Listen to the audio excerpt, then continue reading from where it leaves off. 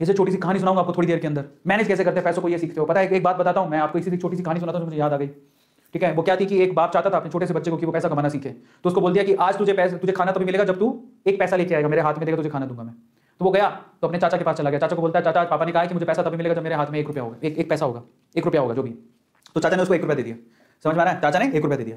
अब वो भागते पहुँचा, पापा ये लो एक रुपया। पापा ने वो पैसा, एक रुपया कुएँ में डाल दिया। हट ठीक है? उसको दे दिया खाना। अगले दिन भी यही बोला, जब तू एक रुपया लेके आया तुझे तभी मिलेगा। फिर अगले दिन वो अब चाचा चाचा से डील तो मांग नहीं सकते, समझ में आता है? तो अगले दिन किसी और रिश्तेदार के पास पहुँच गया, उसने एक रुपया दे दिया। फिर वो कुएँ में फेंक दिया, समझ में आ रहा है? और फिर उसको खाना दे दिया। ऐसे करके डीली उसको बोलते, तू एक रुपया लाएगा तो तुझे खाना मिलेगा। सारे रिश्तेदार खत्म हो गए। और जिस से मांग के ला रहा था रिश्तेदार को पापा ने बोल दिया अगली बार तूने पैसा दिया, मेरे बच्चे को तो तेरी खैर नहीं। एक दिन ऐसा था कि वो चाचा के पास गया, पापा के पास गया सॉरी चाचा के पास गया, ताया के पास गया, सबके पास चला गया। समझ में आ रहा किसी ने उसको पैसा नहीं दिया। अब उसको पता लगा कि अब एक रुपया नहीं दूँगा तो भूखा मरूँगा।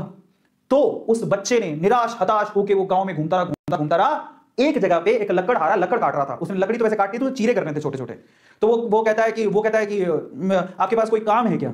मुझे एक रुपया, अब, आप मुझे एक रुपया दे सकते हो क्या? ऐसे उसने पूछा, आप मुझे एक रुपया दे सकते हो क्या? बोले कि, दे तो सकता हूँ, लेकिन उसके लिए तुम्हें काम करना पड़ेगा।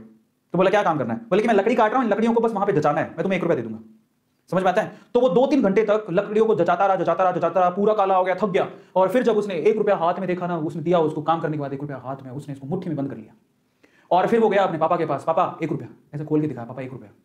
पता है, वो समझ तो गए थे कि इस बार ये मेहनत से कमा के लाया क्योंकि सारे रिश्तेदार को तो मना कर दिया था। फिर भी एक रुपया लाया तो मेहनत से कमा के लाया होगा। फिर भी उसके पापा ने क्या किया, पता वो एक रुपया लिया और कुएँ में फेंकने की कोशिश करी। ऐसे।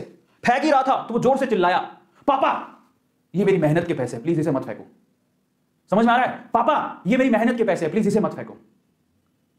बस।